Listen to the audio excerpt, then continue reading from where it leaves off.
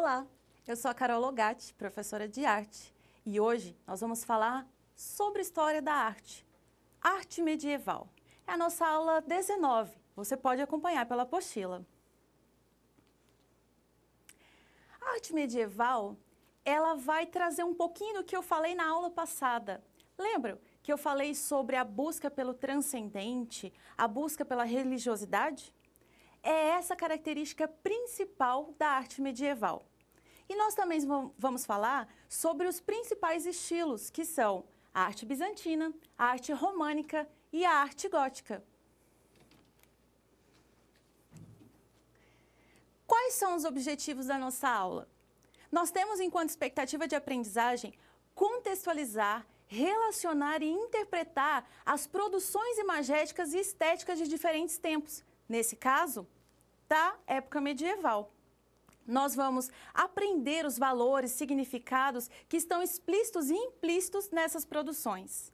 A habilidade que vocês vão adquirir é se apropriar desse patrimônio artístico de diferentes tempos e lugares, compreendendo a diversidade, associando também com a nossa época, vendo os processos de legitimação dessas manifestações na sociedade para desenvolver uma visão crítica e histórica.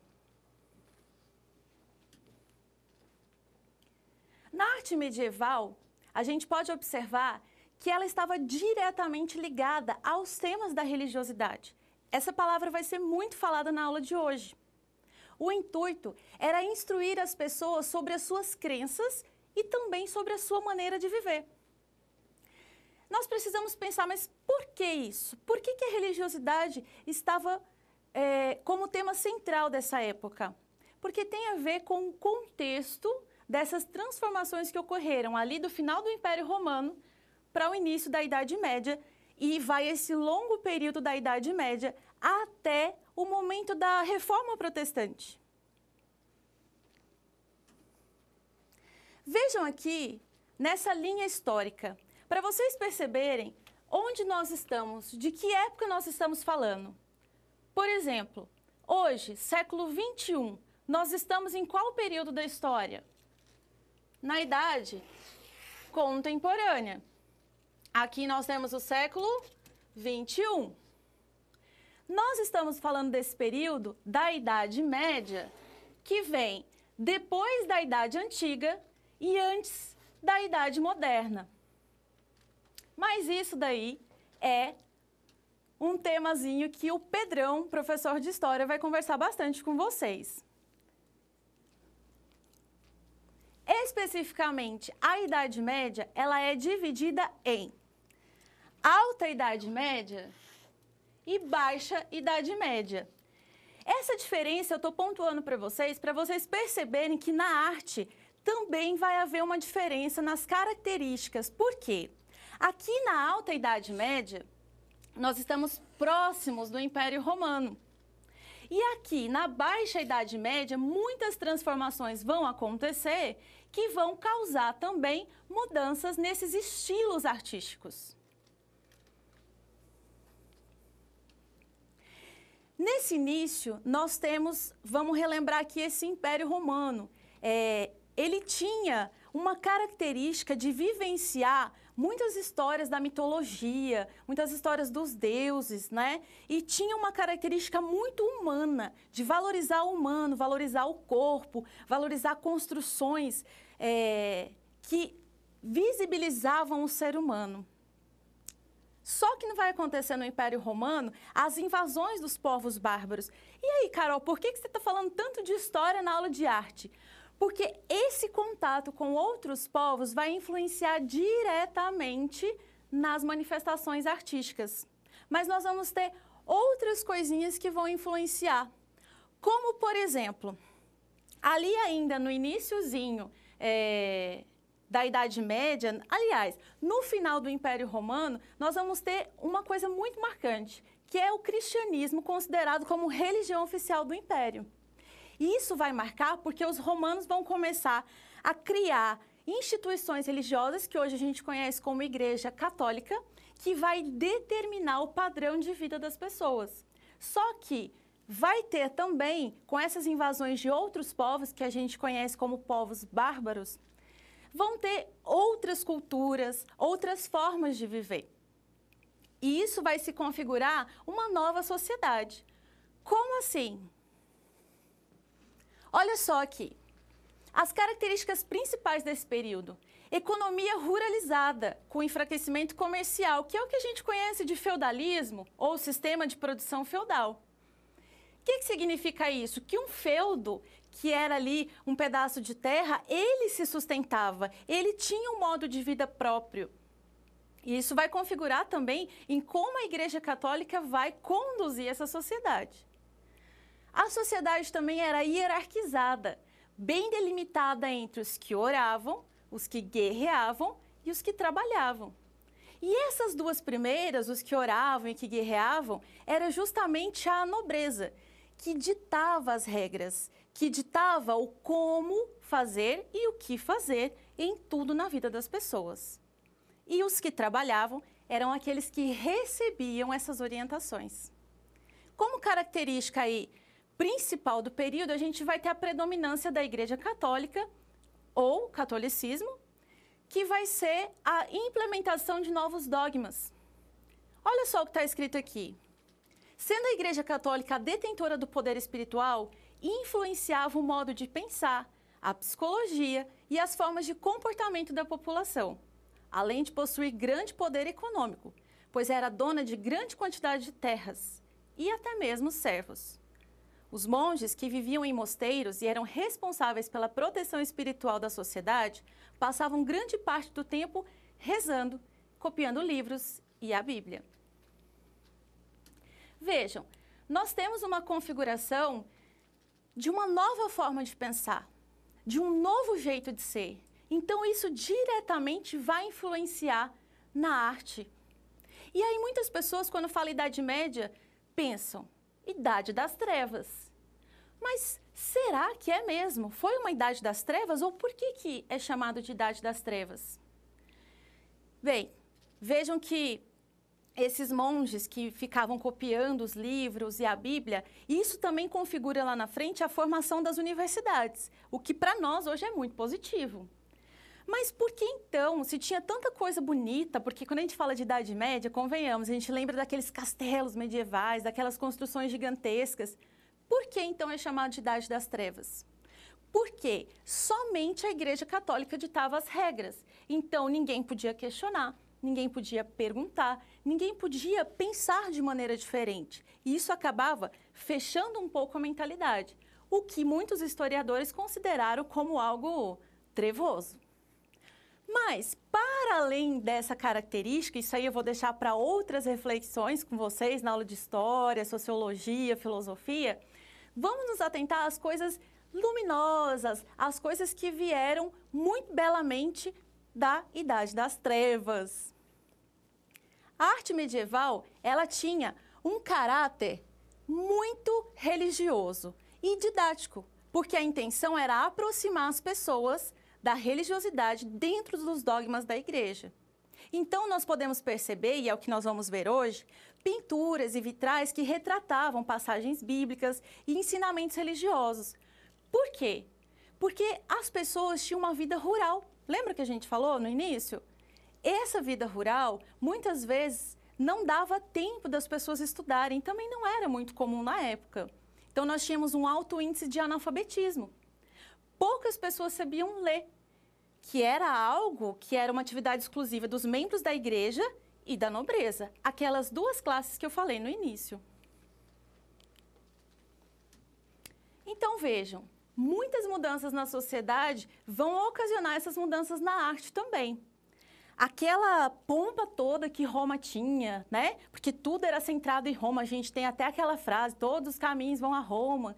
Então, isso muda porque as invasões bárbaras, esses povos que começam a conquistar ali o Império Romano, eles começam a se centralizar em outros territórios, como na França, na Alemanha e nas Ilhas Britânicas, que a gente conhece hoje como Inglaterra. Além disso, que eu já falei, o cristianismo se torna a religião oficial do Império, que vai mudar a mentalidade das pessoas, que antes os romanos acreditavam ali em vários deuses e passa a acreditar em um Deus só. Além disso, e é o nosso principal foco, a ênfase da vida passa a ser o aqui, do aqui e agora, passa a ser o além, o transcendente que eu falei na aula passada, alterando também a concepção do corpo belo, que era característica lá da arte grega e romana, para de corpo corrupto, associado ao pecado. Então vejam, nós temos assim várias maneiras de pensar a Idade Média. E como que nós vamos pensar hoje? De uma maneira com a perspectiva na arte. Sim, nós temos várias reflexões para fazer desse período, né? De um período de fechamento de mentalidade e etc. Mas na arte, nós temos que ressaltar grandiosos avanços. Nós temos avanços na técnica também. Nós temos avanços nas construções. Vejam essa imagem aqui, ou essas imagens. Quando a gente fala de arte medieval, muitas coisas vêm à nossa cabeça pelos filmes que a gente assiste. Como eu tinha falado, os castelos medievais. Olha só a grandiosidade disso aqui. Vejam. Esse castelo aqui, gente, pensa. Há séculos atrás, e uma construção enorme dessa. Aqui a gente tem na pintura a representação é, dos guerreiros, né? Das cavalarias medievais tão conhecidas. E aqui nessa imagem, nós temos uma técnica que, inclusive, é a atividade de vocês, que é a técnica dos vitrais. É muito rico. Então, tem muita coisa boa na Idade Média e a gente vai ver um pouquinho mais detalhado.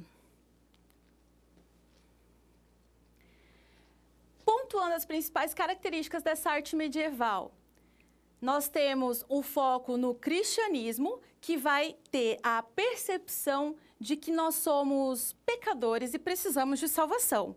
E essa salvação, ela vai nos levar a uma vida eterna, mudando as preocupações da estética na arte, porque já não se tinha mais a preocupação do belo e do perfeito aqui, mas sim lá na eternidade, segundo os dogmas da Igreja Católica. Então vejam aqui as principais características. Há um desaparecimento do interesse pela representação realista do mundo, porque afinal eu estou visando o mundo eterno. Há uma preocupação principalmente com os corpos, sendo estabelecida a proibição dos nus, que era muito comum na arte grega e romana, e mesmo nas imagens de corpos vestidos, revelando prudência anatômica. Ou seja, enquanto na arte grega a gente tem aquelas é, os deuses gregos, né, que até ficou conhecido, pelas formas das estátuas e tudo mais, aqui na Idade Média a gente não vai ter isso. Os ideais greco-romanos de proporções harmoniosas e equilíbrio entre corpo e mente desaparecem. O foco é a mente. Na verdade, a alma, né? Porque quer se salvar a alma e livrá-la do pecado. Os artistas medievais se interessavam exclusivamente pelo espírito, dispostos principalmente a conquistar e iniciar novos fiéis nos dogmas da igreja. Percebem como que o tempo todo a gente está falando dessa religiosidade, dessa busca pelo perfeito, mas não aqui, lá no eterno? Essas são as características da arte medieval. Primeiro estilo que a gente tem, e aí vocês já viram isso com a Lina, eu estou colocando aqui só para a gente relembrar. Vamos olhar aqui, ó. É o estilo bizantino. Lembrando, o Império Romano foi dividido em dois né? O Império Romano do Ocidente e o Império Romano do Oriente. O Império Romano do Oriente é aquele que vai ficar com todas as riquezas, porque o do Ocidente vai cair, ser invadido e vai acabar, o que dá início à Idade Média. Lá no Oriente, a arte é, medieval do estilo bizantino, ela vai ter características grandiosas, riquíssimas. Por quê? Justamente porque esse império vai ter todas as riquezas que o Império Romano tinha. E o caráter teocrático, que é o que? Deus no centro. Então, também tem característica da religiosidade. Nós temos um segundo estilo, que aí entra o estilo românico, que já vem para o Ocidente. Qual a característica desse estilo românico? O nome já dá uma ideia para gente. É justamente aquele resquício da arte romana. São algumas características que lembram as influências romanas. Vamos ver aqui? Como eu tinha falado no início, esse estilo românico acontece na Alta Idade Média, porque está muito próximo ali do Império Romano. o cristianismo tem já as suas influências, as construções das igrejas, elas são fortíssimas. Por quê, Carol? Porque eles querem difundir a nova ideologia que é o catolicismo. Então, na arquitetura, que são essas grandes construções, a gente pode observar os castelos, as igrejas e os mosteiros, que vão trazer um certo peso, né? e dão a ideia de esse ser pecador que está aqui na Terra. Então tem essa característica. Por isso veio a ideia de Idade das Trevas. São poucas janelas, pouca entrada de luz, para que o ser humano se voltasse para si, se fechasse para as reflexões espirituais. Então, no estilo românico, a gente vai ter uh, um foco para que o ser humano esqueça as coisas materiais. Por isso, pouca luz nos ambientes, para que se tenha uma interiorização. Mas também nós temos uh, aquela característica inicial que eu falei, de falar sobre passagens bíblicas, e isso vai se refletir também na pintura e na escultura. Dá uma olhadinha aqui na imagem. Olha só, podem ver aqui, ó, que aqui nós temos a figura do tal conhecido como capiroto. E aqui nós temos a ideia do anjo, que na literatura, e a gente não vai aprofundar aqui, mas na literatura, nesse período, vai ser muito forte. Essa dualidade entre o bem e o mal, entre céu e inferno, é muito característico do período. E aqui, nessa imagem, nós podemos ver uh, cenas de como se fosse uma pecadora, né, sendo curada ali, é, sempre nessa condição do ser humano precisando de auxílio. Esse é o estilo românico. O terceiro estilo é o estilo gótico. Como eu já havia dito, ele vai acontecer na Baixa Idade Média. Lembrando aqui, só refrescando a memória ali daquela linha histórica, nós vamos ter já a influência de outros povos, que são povos tribais, que tinham outra cultura, tinham a crença em outros deuses e tudo mais. Isso vai influenciar diretamente no estilo gótico. É, na Baixa Idade Média também, a gente pode lembrar desse feudalismo que tinha sido construído, que não está já funcionando. Então, essa sociedade medieval começa a buscar outras fontes de produção, de riqueza, e isso faz com que os europeus entrem em contato com outras civilizações, dando outras ideias, ampliando a mente também. Vamos ver aqui essa característica do estilo gótico. Diferente da arte românica, a gótica revela maior leveza e abertura, onde as construções não usufruíam de paredes muito grossas e as entradas, seja das igrejas ou dos mosteiros, já incluíam mais aberturas, desde janelas e portas, que na arte românica eram muito estreitas. Dá uma olhadinha aqui, gente, ó. Olha a diferença. Quantas janelas e portas a gente vai tendo aqui. O que, que isso tem a ver, Carol? Isso significa entrada de luz. Há uma, uh, um ambiente mais arejado, digamos assim. Ou seja, é como se o ser humano começasse a encontrar essa transcendência e esse Deus que está buscando. Sem contar que, olha só, o tamanho né, dessas construções. E aí é uma das características que prevalecem. É a verticalidade. Como assim? Verticalidade, nesse sentido aqui. Enquanto as construções ali na arte românica ficavam mais ou menos por aqui. E aqui não, tem essa ideia vertical de ascendência. Por quê? Aí entra tudo o que eu vim falando desde a aula passada. Porque essa busca por Deus é tão forte que quanto maiores os prédios, maiores as construções, mais perto de Deus eles estariam. Essa é a característica principal na arquitetura. Mas não era só de construções que a arte medieval vivia, não. A gente também tem uma coisa lindíssima que eu particularmente acho maravilhoso, adoro, que é a tapeçaria, né? Que são é, aquela construção com, com, com, fios ali que representavam histórias, porque não tinha ainda, vamos lembrar que a gente está na Idade Média, ainda não foi inventada a impressão. Então, como que eles registravam as coisas? Além dos papiros, romãs, aqueles rolos e tudo mais, registrando na tapeçaria. Olha que bonito isso aqui. Vejam só, eram contadas fábulas, porque a Idade Média é conhecida por isso também, né? História de príncipes, princesas, e isso tem muitos registros nessas tapeçarias, que serviam para ficar nos castelos é, protegendo um ambiente e outro. Então não tinha muita parede como a gente tem nas construções de hoje. Como é que era feita essa divisão? Com esses tecidos, com essa tapeçaria. Só que para é, o ser humano mostrar essa característica de expressividade, não era qualquer pano que era colocado ali, né? Eram colocados essas tapeçarias que tinham uma história por trás, que tinham um bom gosto. E afinal de contas, né, gente? Convenhamos, nada que o ser humano faz é assim de qualquer jeito.